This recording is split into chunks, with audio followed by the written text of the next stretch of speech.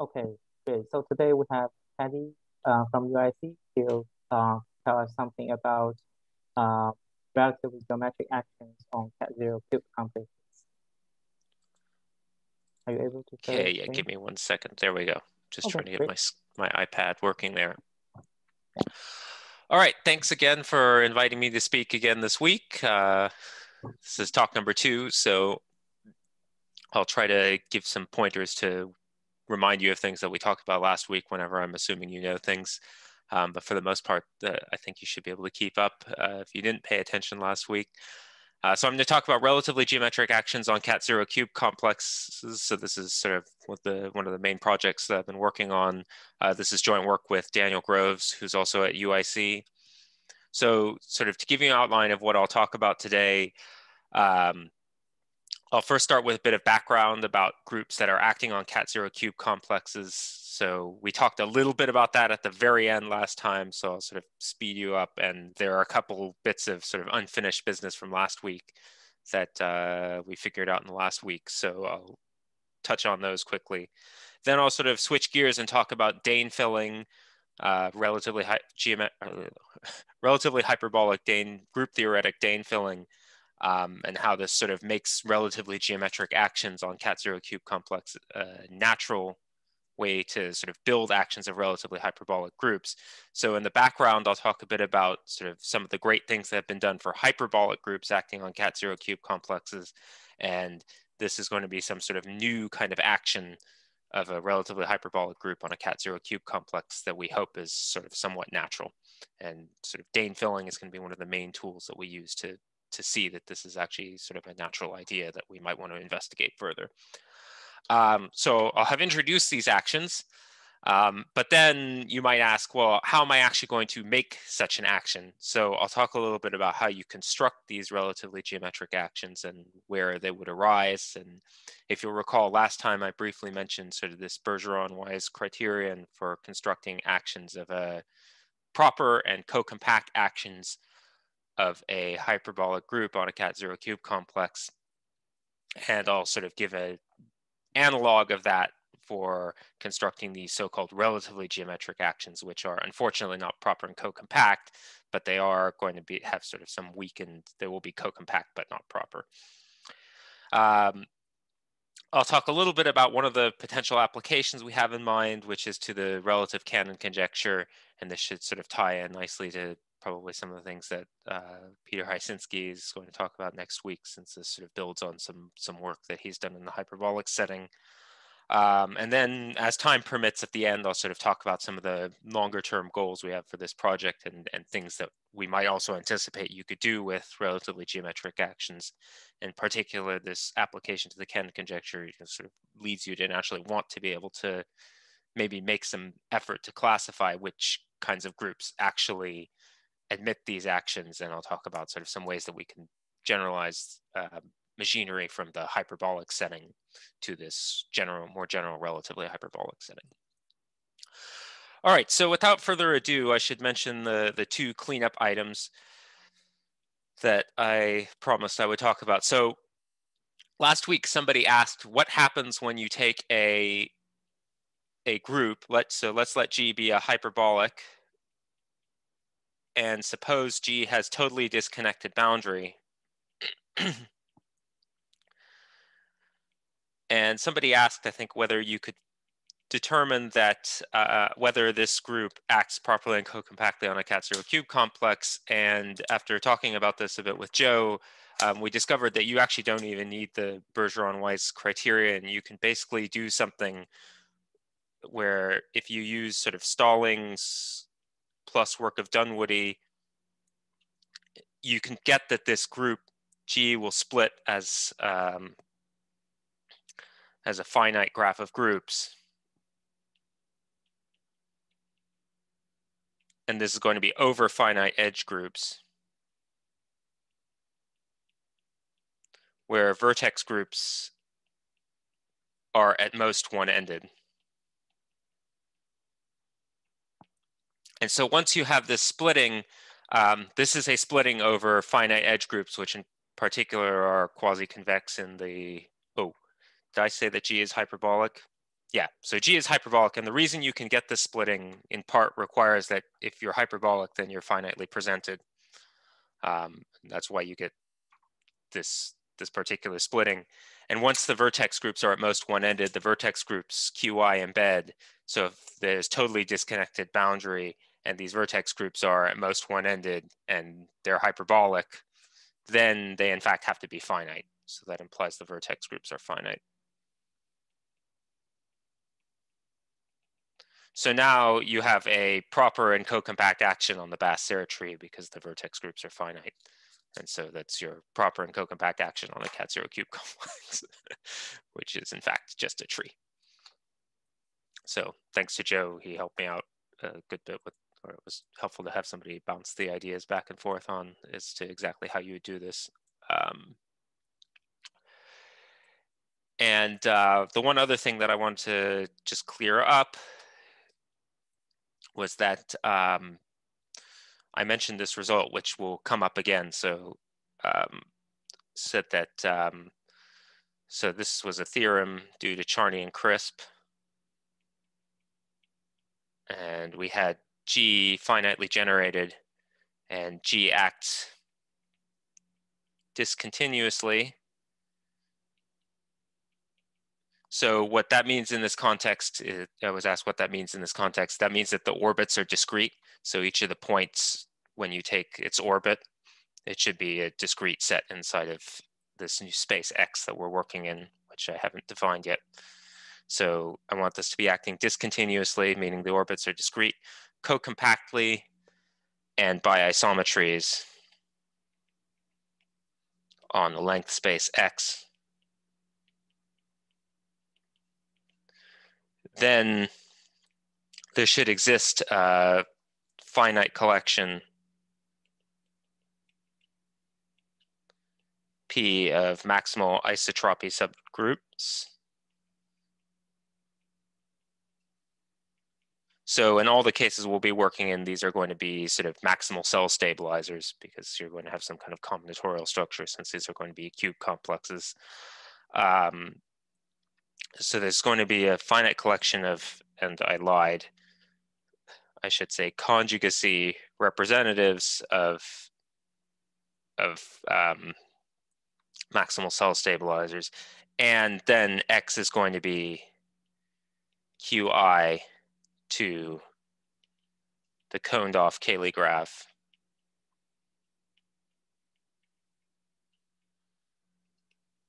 of G um, with respect to P and some generating set.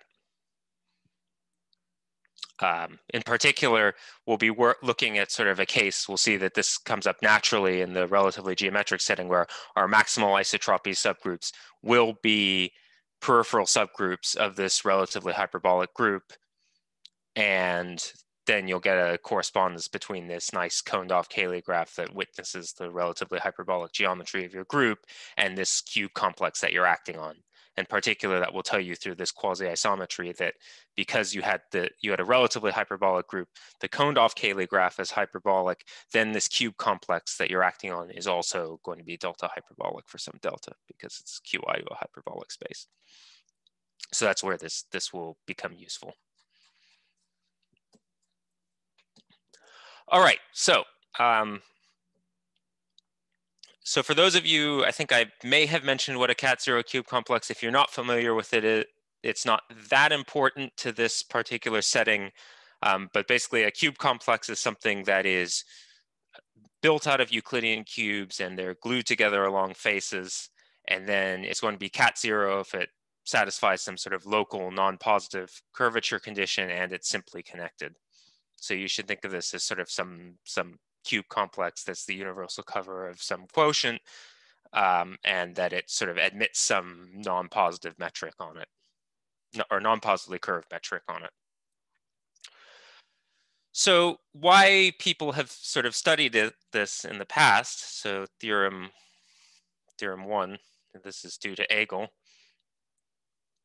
Um, let's let G be a hyperbolic group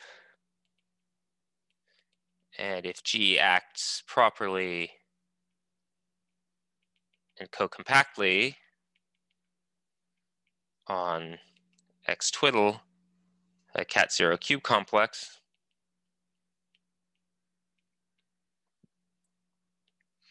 then G is so-called virtually special. So if I you approximately nothing if you don't know what virtually special is, the sort of short version of, of virtually special, it means that there exists a finite index G prime contained in G so that if we take the X prime mod G twiddle, you're going to get this nice immersion into the Salvetti complex of a right-angled Artin group.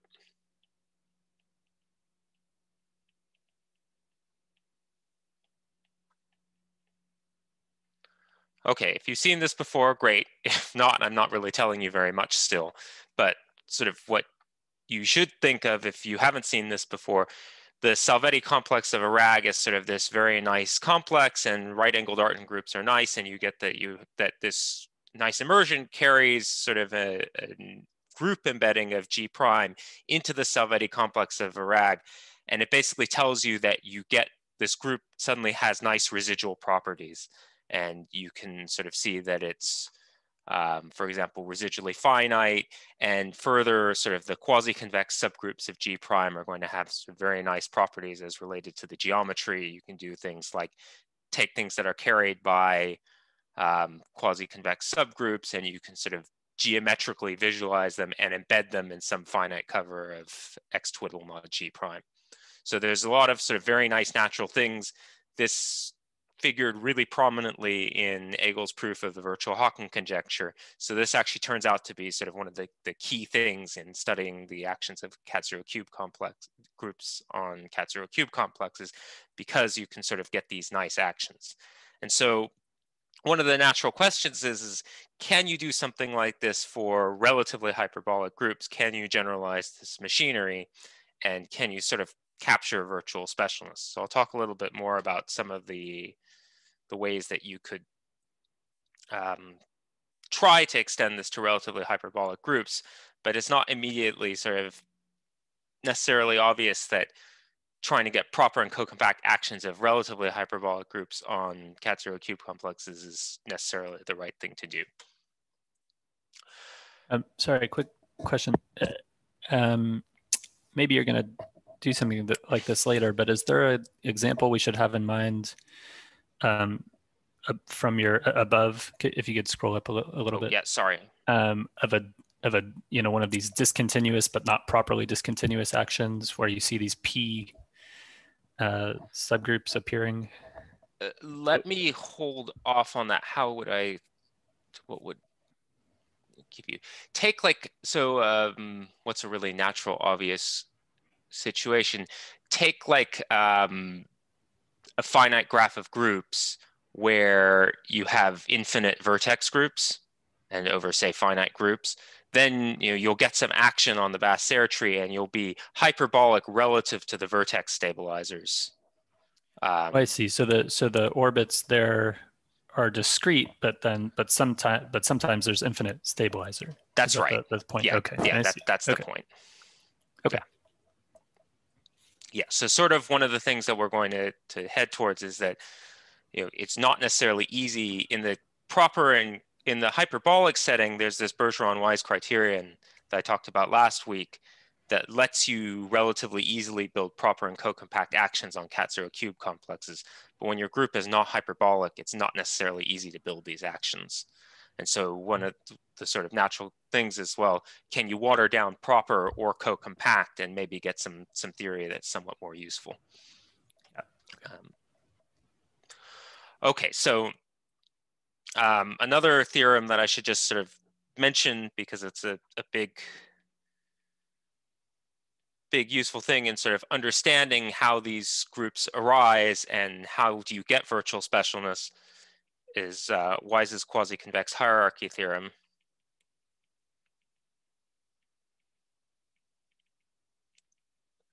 Which, and it characterizes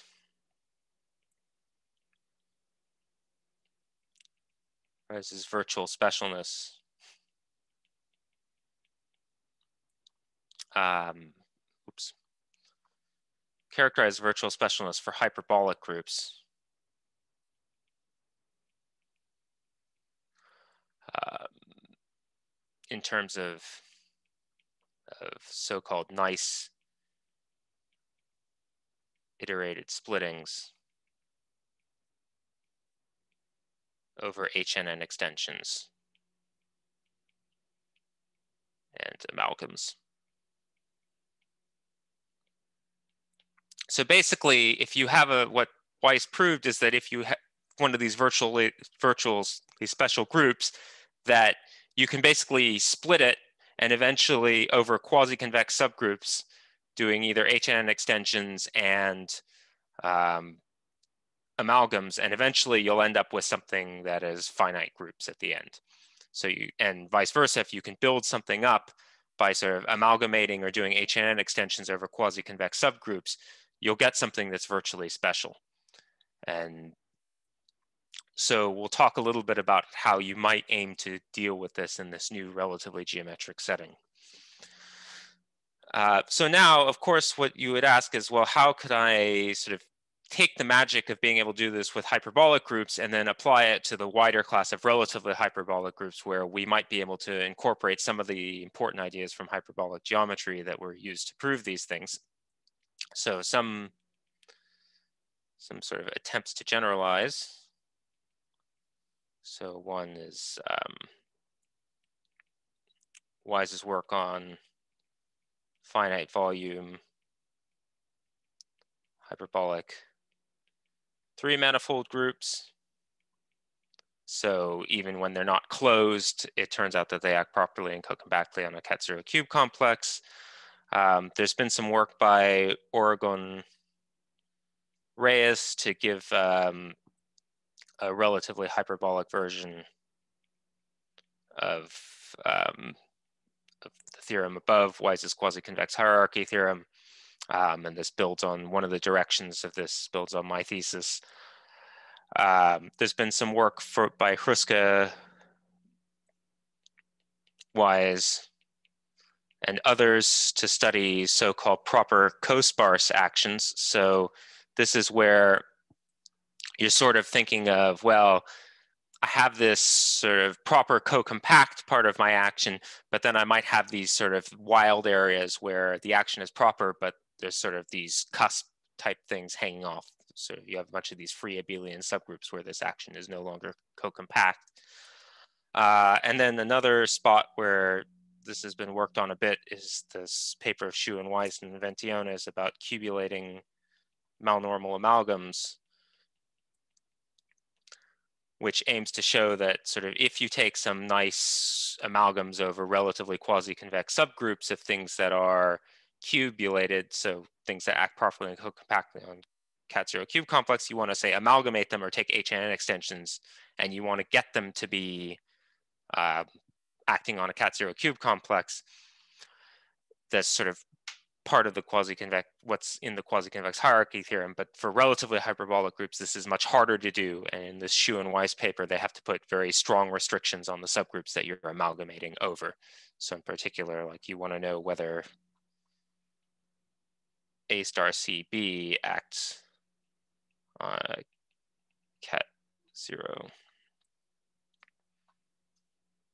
Why is my iPad not moving? Okay, there we go. Okay.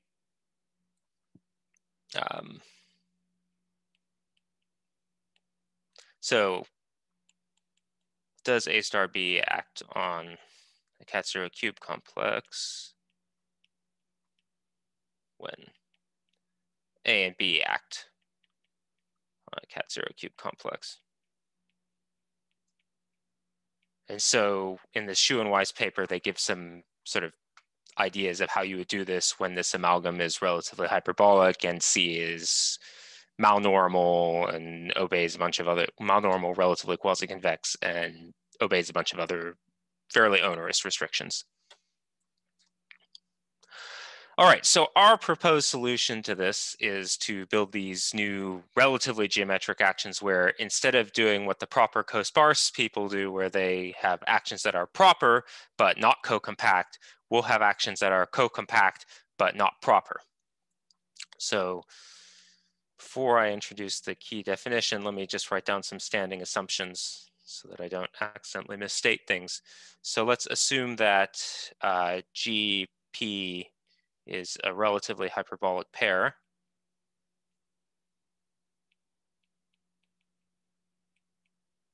And let's assume that X twiddle is a cat zero cube complex.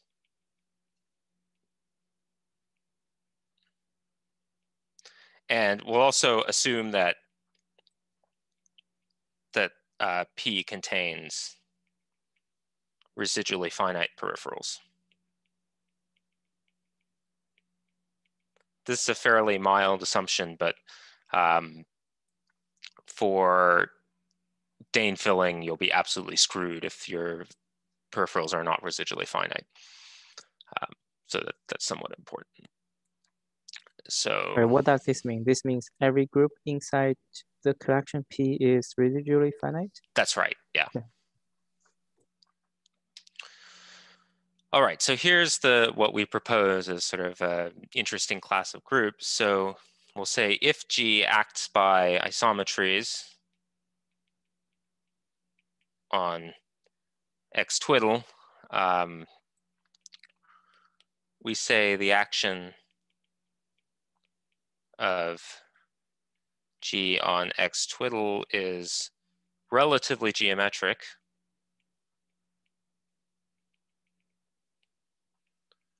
when first condition is the action of G on X twiddle has co-compact quotient.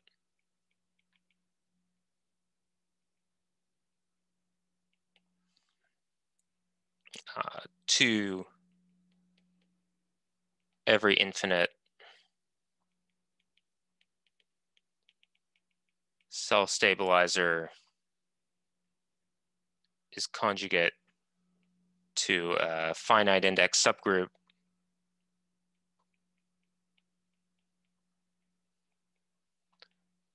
of um, some P and P.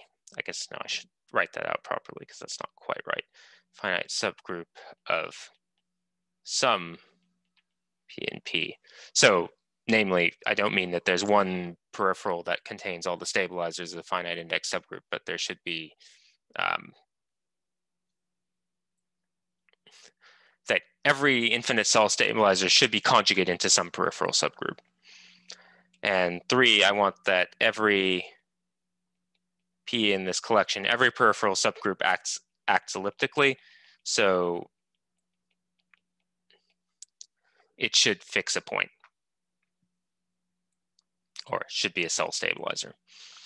Um, in particular, if you want sort of a example zero, take the example that I gave a couple minutes ago, where you have some Bass-Serre tree, or you have a finite graph of groups, and then you have the relatively hyperbolic structure where it's hyperbolic relative to the vertices. So you have this action, you have a compact quotient, and then your stabilizers are all sort of very limited in terms of what they could possibly be. All right, so what, what this should say, in particular, the, the theorem above, but from Charney and Crisp, should say that um, x twiddle is qi to the hyperbolic, the, I should say, it's qi to the coned off Cayley graph for GP, and in particular that X twiddle is now hyperbolic because the coned off Cayley graph for a relatively hyperbolic group is hyperbolic, so X twiddle must be hyperbolic as well. All right, so why is this natural? So we can use uh, relatively hyperbolic Dehn filling to do some really magic stuff so that we can actually relate this group now to the situation where you have a group acting, a hyperbolic group acting on a cat zero cube complex. And you can sort of pull back some of the Agol-Wise machinery in a very natural way. So to take a slight detour, Dehn filling is this tool that lets you do the following. So I think this was originally introduced by, um, at least in the the relatively hyperbolic situation, some of the earliest, I think, is due to Dahmani, Guirardel, and Osin. Um, and there's quite a bit of work as well by Groves and Manning. So if you take this collection P equals P1, P2, up to PK, as before. So I'm going to just enumerate out what my peripheral subgroups are, or at least representatives for them. A peripherally finite Dehn filling.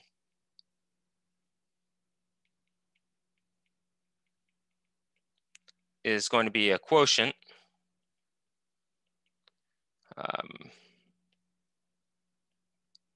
G to G mod K, where K equals the normal closure of some collection of subgroups Ni where Ni is uh, are a collection of subgroups where each Ni is contained in Pi and I want them to be finite index. So sort of an example of how you would think this, this kind of thing would relate to the classical Dehn filling where you have sort of finite volume hyperbolic three manifold and you want to fill in the torus cusps by gluing in this solid torus, this is basically what you're doing. You're doing a group theoretic analog of this where you're sort of gluing in some finite index thing into the cut. You're making some finite index gluing of the solid torus into this. Um, I guess it's not quite analogous, but you're basically closing off the cusps here. And so you go from being relatively hyperbolic to having something that's hyperbolic because you've now filled in the cusp subgroups. So here's the really magic theorem that makes this work perfectly well. And this is due to Groves and Manning. I think it appears in their paper called Hyperbolic Groups Acting Improperly. And this is kind of unbelievable when you first read it. So if you take GP and it acts relatively geometrically on X twiddle. So this is a much more, this can be stated in much more generality, but I'm just stating it for the particular situation we'll be working in. Then there exists a peripherally finite Dehn filling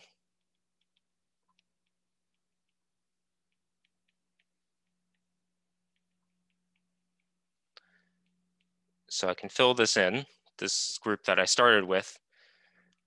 But the really surprising thing that you get is that when you take the quotient of the cat zero cube complex that you have a relatively geometric action on by the kernel of this filling, you remain in the category of cat zero cube complexes. So in particular, what you have is that you have um, you have that G mod K is hyperbolic, acting on a cat zero cube complex.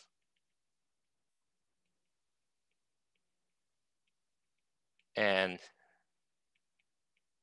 by Agol, um, G mod K is virtually special.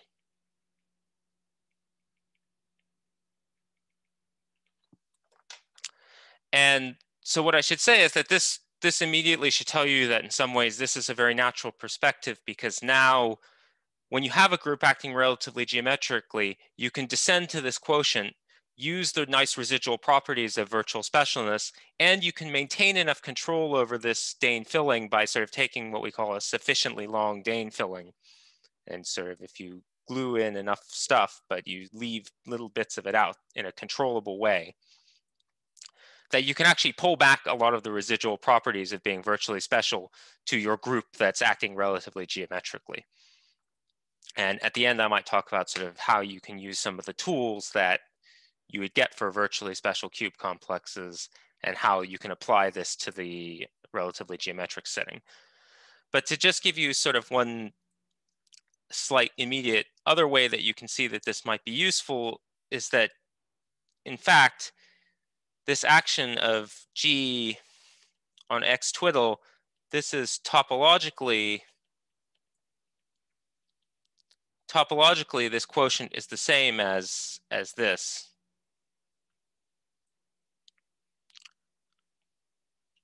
Um, is that, do I have things exactly the right direction? No, I have the wrong thing.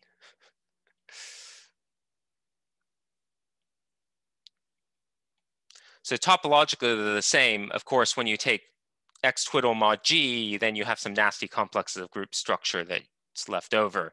But it turns out that you can actually clean this up a little bit further. So in particular, what one of the things we can say is that from this um,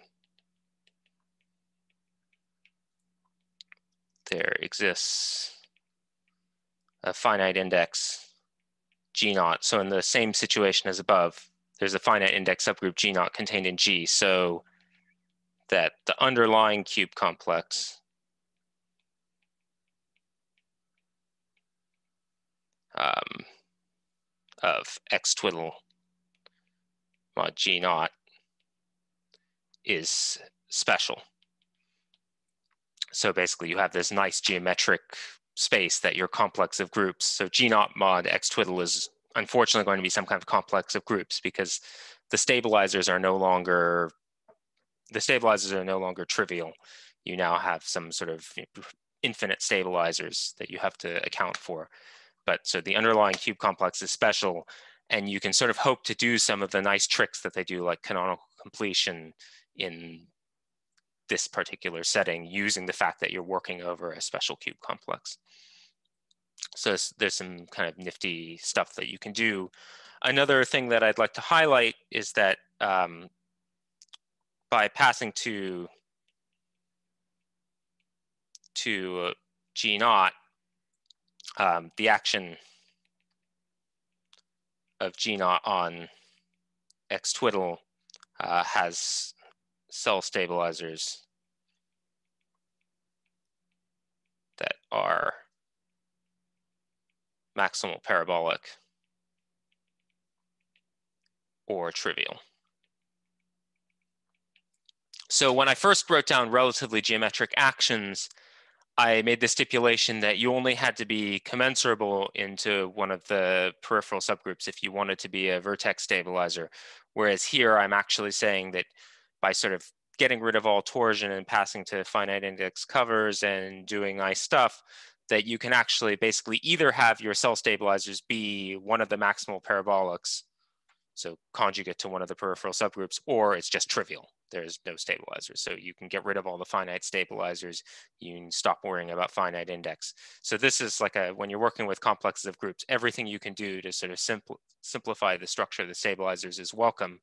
In particular, this says that if you have two adjacent vertex stabilizers, their intersection has to be, they either have to agree and then the edge stabilizer between them is exactly what the vertex stabilizers are, or the vertex stabilizers are different and then the edge stabilizer is trivial because parabolic subgroups intersect in um, finite things if they're distinct, but in this case, there are no finite stabilizers, so it's trivial.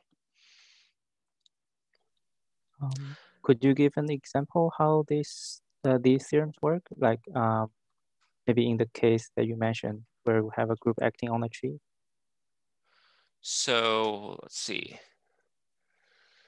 So unfortunately, in the case where the group is acting on the tree uh, like that, you already have what you want because, um, well, what should happen? Um, you can basically pass to a finite index subgroup, then you can get rid of any possible edge stabilizer that's in between them but you might have to pass to something finite index and nasty. Um, so yeah, that sounds right. And then, um, but you already had things that were your stabilized cell stabilizers were already maximal parabolic. How does the group K look like in that case, or maybe the quotient G mod K? Um, what does the group look like?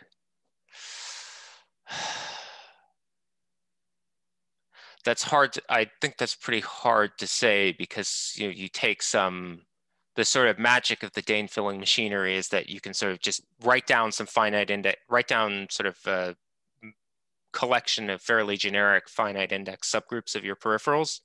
Mm-hmm. And then you just take the normal closure. And then the, you sort of don't really have much idea of what the normal closure looks like, but you sort of can say that, um, what, what can you say? Um,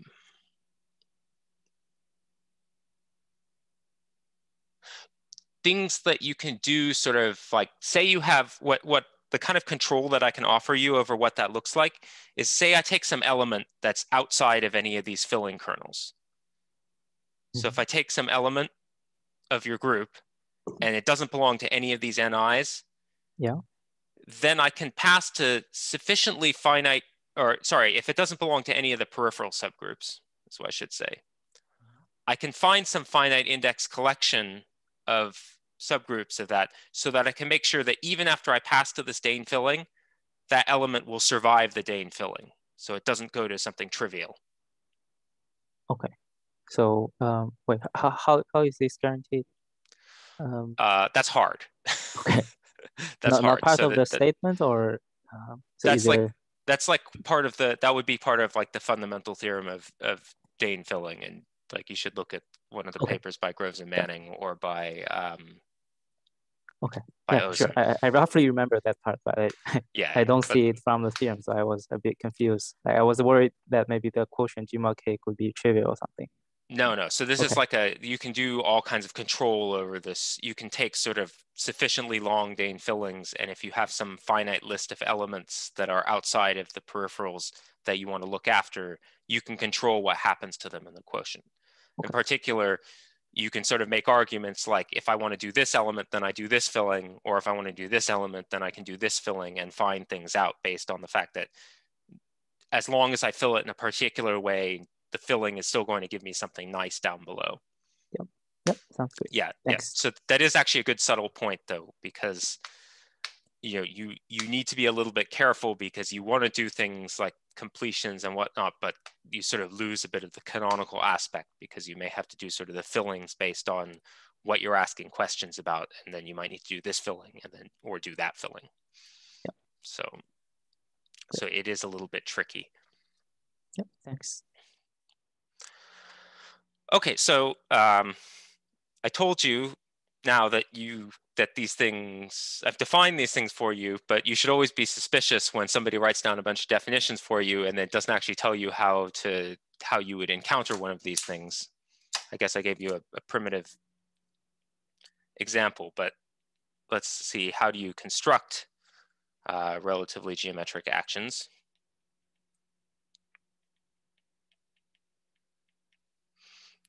Um, so one thing I just need to introduce on the side, because this is somewhat important to the theory. So if I take some subgroup H and it's contained in G, um, H is going to be so-called full if for all P in P um, and G in the group HG intersect P is finite or finite index in P. So what you don't want, what you, this is just sort of avoiding the pathology where what could happen is that you don't want subgroups are full when you have some peripheral subgroup and you don't want to kind of slice one of the parabolic subgroups. You want to make sure that if you have some sort of infinite intersection, uh, if you have an infinite intersection with a parabolic, you're going to swallow up almost all of that parabolic. So the, the quintessential example is what you don't want to have happen is like if you have like a z squared representing cusp subgroup, you don't want to have sort of one of these diagonal cyclic, infinite cyclic groups coming through it, and that's not going to really play nicely with the relatively hyperbolic geometry. So here's the the theorem for how you construct such an action. So let's suppose the elements of P are all one-ended.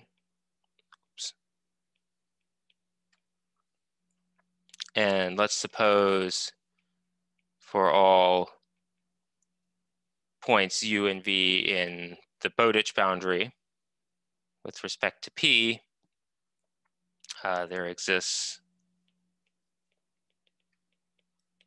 a full relatively quasi-convex subgroup.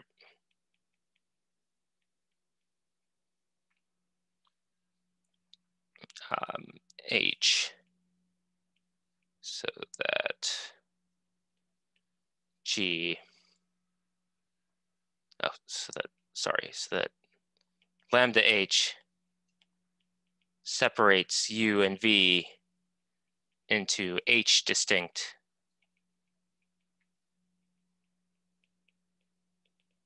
components of the Bowditch boundary. Um, then there exist finitely many full relatively quasi-convex subgroups of G so that uh, G acts relatively geometrically on the dual cube complex.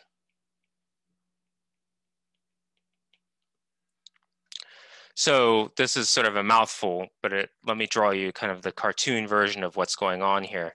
Here's your Bowditch boundary. So to just remind you what the Bowditch boundary was, last week I said that you can, if you have a relatively hyperbolic group, you want it to act on, you can get it so that it acts properly on some delta hyperbolic space. And if you take the boundary of that, then you get the Bowditch boundary. Unfortunately, this is not the visual boundary of the coned-off Cayley graph. Rather, it looks more like the visual boundary of the coned-off Cayley graph.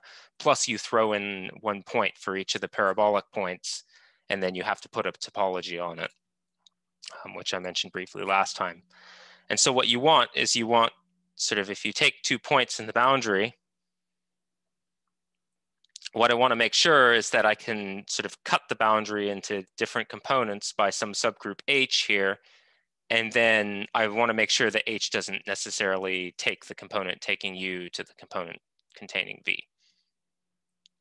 Um, sort of a, one canonical example you can imagine is like if I have, here's sort of a, a bad example that doesn't give the right context exactly, uh, no, that's not the right thing. That, that's going to be very bad. But if I take sort of, here's my hyperbolic space, and here's my, here's sort of point one in the boundary u and v, and say they're connected by some bi-infinite geodesic, you'll want to slice this bi-infinite geodesic by some subgroup into sort of two different pieces, and you want to make sure that you can't switch the sides of the bi-infinite geodesic that's sort of the, the geometric idea of what's going on. Another way place you could see this is sort of if you had an action on a cat zero cube complex, which is not really helpful to begin with, and say it was a hyperbolic group acting on a cat zero cube complex. Um, if you took one of the hyperplanes that cuts the bi-infinite geodesic connecting the two points on the boundary, that would be sort of your example of some quasi-convex subgroup.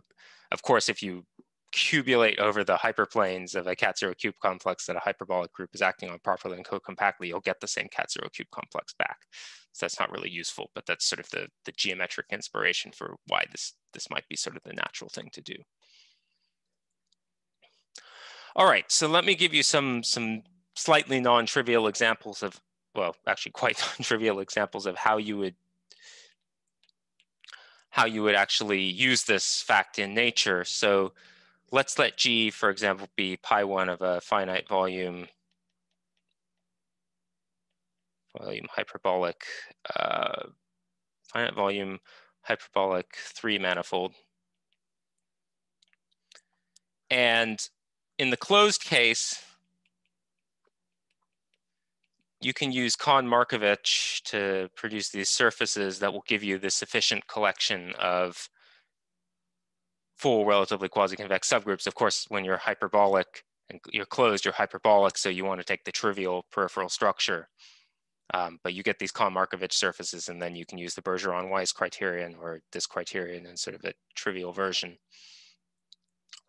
Or in the not closed case, so as I mentioned, this is somewhat moot because Wise had proved in the, Wise has already proved that these groups are properly and co-compactly cubulated, but you can show that um, that if you have a non-closed finite volume hyperbolic three manifold, you also can construct a relatively geometric action by doing the following. You take these ubiquitous quasi-Fuchsian surfaces so Cooper and Futer sort of show that you can take points in the boundary and you can sort of, there's lots and lots of these quasi-Fuchsian surfaces and you can separate points in the boundary using these quasi-Fuchsian surfaces. And that gives you your supply of full relatively quasi-convex subgroups that you can cubulate over to get a relatively geometric action.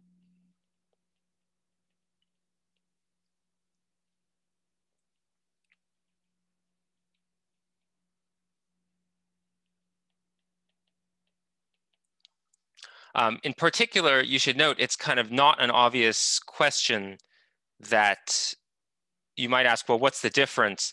And it's not obvious that just because a group acts properly and co-compactly on a cat-zero cube complex, whether it also admits a relatively geometric action, because proper and co-compact actions are not relatively geometric, because in particular, if you want to be relatively geometric, you're required to have points to infinite point stabilizers, which are the peripheral subgroups, unless of course you you have a hyperbolic group where you have a, a set of finite peripheral subgroups.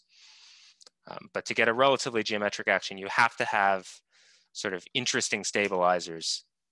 And this is also useful because then you do get this Dehn filling type argument that you can do. So this is a little bit different. So one of the conjectures that we haven't quite proved yet, but we conjecture that relatively geometric actions generalize um, generalize proper co-compact actions. Um, in particular, if G acts properly and if GP acts properly and co-compactly on a cat-zero cube complex, then it will also act relatively geometrically on some other cat-zero cube complex. Uh, oh. I had a I had a question. Uh, sure. The is that are the are these quasi Fuchsian surfaces are they full? Do they give full subgroups? I, I, thought the picture I had, what you were saying is that you don't want to have slices. I'm picturing the surface as you know intersecting the the cusp boundary, the toral cusp boundaries, and in Z subgroups. I thought that's what you're trying to avoid. I think you can arrange them I'm probably not qualified to exactly answer this question at the moment, but I think you can arrange them so that they sort of, if they, if for some reason they happen to hit one of these cusp spaces, you can sort of make sure that these are far enough away from the U and from the two points that you want to separate. And if you kind of, usually when you run into problems, all you need to do is just throw on the cusp subgroups and then there's not really a problem. That's sort of the, been the practical way that I've run into this problem, but I couldn't exactly promise you at the moment that, that that's exactly how it would work out. Okay. Uh, I see. So, I mean, I was I was thinking about it's, it's the notion of full subgroups. I guess I was I was picturing, you know, well, you're going to try to use these surfaces to to make the cube right. complex and stuff, and and that they would always tend to slice in codimension one Right. And so you um, kind of need to make sure that they don't slice the cusps, or if they do slice, you, you could sort of imagine that if these points are not in those cusps, then you can sort of avoid slicing. Here's these two cusps, and maybe it slices these cusps, but throwing, there's not really much harm in throwing these cusps on. Yeah, but I mean, wouldn't you want to separate points in the same cusp? You know, uh, isn't this like for every pair? You, uh, oh, and the other thing is that uh, from a Bowditch boundary perspective, the cusps become a single point. Oh, okay. right. Okay, I see. Okay, thank the you. Cusps, the cusps sort of become negligible in the Bowditch boundary because they get collapsed to points. You have one parabolic point for each cusp in the Bowditch boundary. Okay. Yeah. Thank you. Yeah, thanks for that question.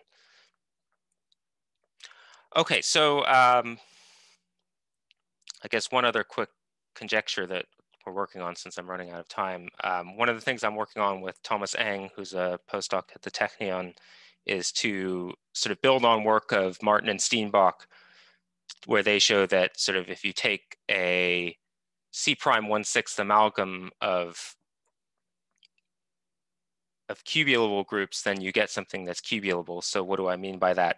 Um, C prime one sixth free product of uh, relatively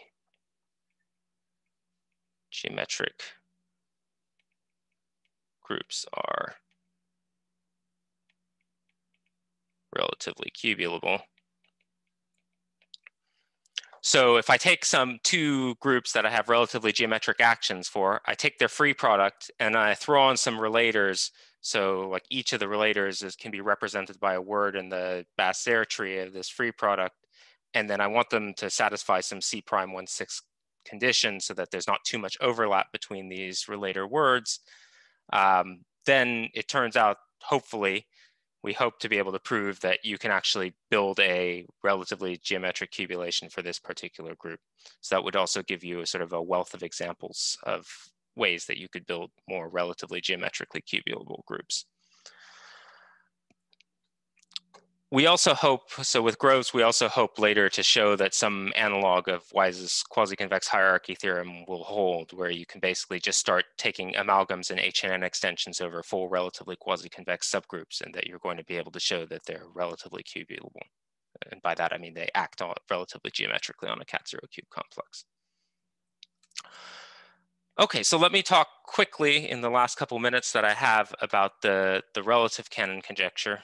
So so here's a conjecture. I think the original source of this is in the in a Kapovich problem sheet uh, 57 from AIM. This is circa 2005, if you want to look for it.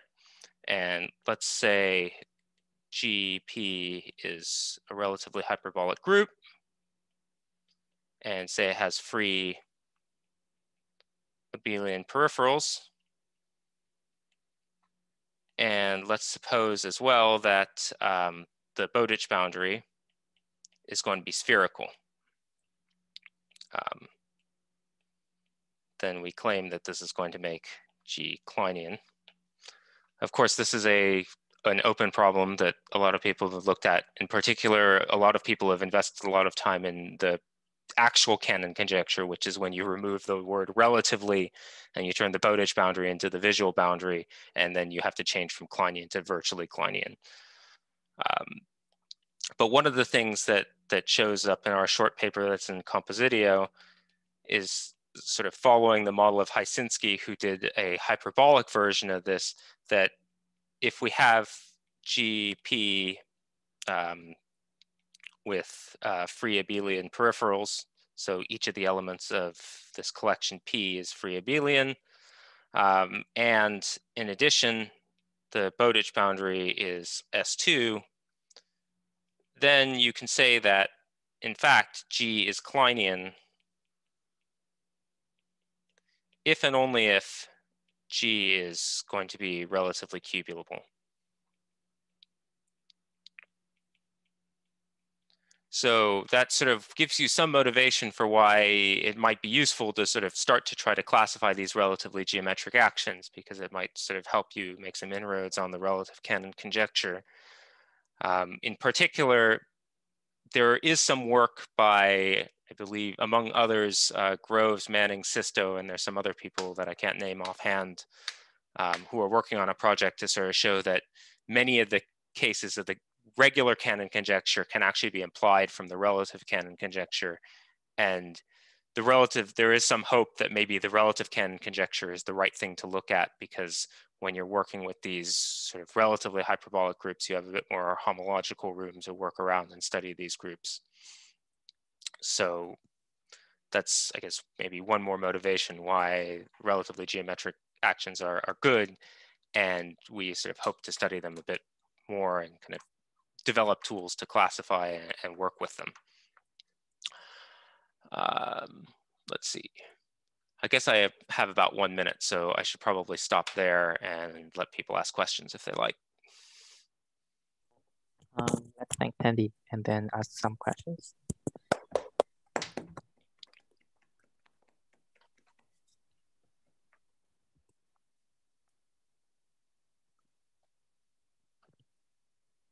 So what's the relation between this relative Cannon conjecture and the actual uh, Cannon conjecture? I thought you can just take the peripherals be empty and isn't that just, I thought, is, is it true that the relative version immediately imply the ordinary version? I don't think so. I guess, yeah, that's true. If you take sort of the, I guess, what is it that well, the relative, so in this relative version, we're specifying specifically that the peripherals are going to be free abelian, right? Okay, so I can't take the collection to Yeah, be an empty collection? Or You, you can't take, well, yeah, I think it's meant to be, you want to take it to be some, at least if you want to think of the relative Cannon pro- conjecture as a distinct problem, you want to think of like having some cusp subgroups there. But sort of, I think some of the ideas that I don't know many of the specifics are is to sort of explore algebraic versions of drilling and filling to sort of Mhm. see can we go between this, this the conjecture sort of and then you, know, you can drill out and then have peripheral subgroups Okay, that are that are going to give you have actual cusps. Okay, so yeah i think i think if you want to think of them as, as distinct problems you do want to insist that there's like some non-trivial peripheral structure. I see. And then for the last theorem, is it uh, some kind of analog of the criterion by Markovic? um my understanding was that there's a there's some there's a criterion where by Haïssinsky that's um Okay. that that Uh, that it, you know if you can tell that something is virtually Kleinian if and only if the group admits a cubulation so that it's proper acts properly in co-compact on a cat zero cube complex. Okay. Let me check. But then the quick way to criterion show I'm not by uh, but then but the criterion by Markovic, I believe, is like if you have a that might be right. hyperbolic group where you have enough surface subgroups that separate point on the boundary, then the con uh, then the conjecture is correct. I think that It, it sounds very similar to your definition. that sound- of yeah, that's sort of-. I think yeah, you're sort of one. There's one step in between where you have to sort of go from having enough subgroups to actually, and then you need to do this. You need to sort of pass that through the uh, Bergeron Wise, and then you need to Mhm. actually get the cubulation right. Okay. Thanks.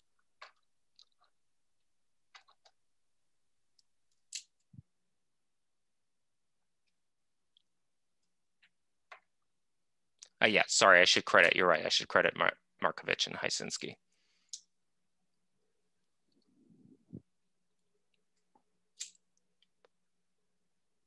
This is one of the advantages of giving virtual talks is that I can like, you know, quickly zoom through my computer really quickly.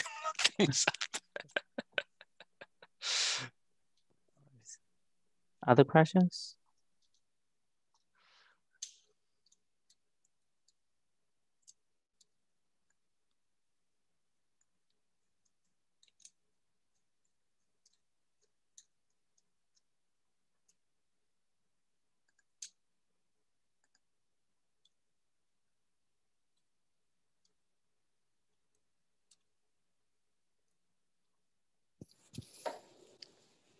Uh, here's one. Um, I don't uh, think about these things in detail, but but um, intuitively, it would seem to me like the this relative version of the Cannon conjecture should have a lot less of a chance of being true, right? I mean, okay, it's stronger, but also, you know, the Bowditch boundary just doesn't see anything about the peripheral subgroups.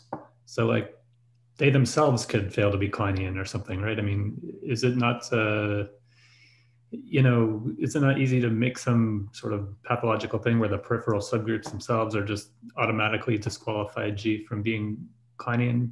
Um, I think in this case, we're insisting that the peripheral subgroups are free abelian. Oh, oh, I'm sorry. I didn't. Okay. Yeah. So, so there's the, yeah, yeah. I mean, you could do some really pathological. If you just just like said nothing about the peripheral subgroups, okay, you could good, easily good, get good. some really pathological shit, and then everything yeah. goes south. But yeah, yeah, you're sort of interested in this case where everything kind of looks like, you know, if you were talking about Kleinian things, you want everything to kind of look like a finite volume hyperbolic three manifold. Okay, but but what if you know? Could it be that they're free abelian but just too big or something? If they were free abelian of rank three or something, yeah. then I think I can't remember why, um, but I think you can show that the yeah you basically want you can basically insist that if I think if the Bowditch boundary is spherical, there's a reason why you can insist that the peripheral boundaries will act, peripheral subgroups will actually be z squared. But I, I, I have to yeah, yeah. reference Maybe, for you. Okay. It's this bounded parabolic condition or something. Or, yeah. Or, yeah. Okay. Okay. Yeah. Okay. Cool. Oh yeah. Maybe there's even like a VCD argument in there somewhere. Yeah, I don't. I unfortunately don't remember yeah. the exact argument offhand, but I've, I've sort of had the exact same thought before as to how do you know all the peripherals are actually z squared, and, and my recollection is that the correct answer is that the peripherals are all z squared. Yeah. So yeah, if I if I wanted to, I could save myself the trouble and just say assume the peripherals are z squared, but.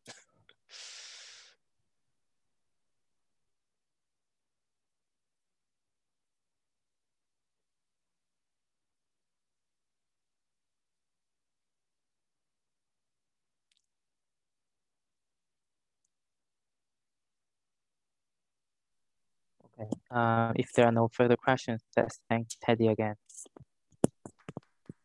Thanks, thanks again for inviting me. It was it was nice to give a talk, especially to give an introductory talk. That's, that was a little bit different. So. Thank you so much. That was that was good. Thank you.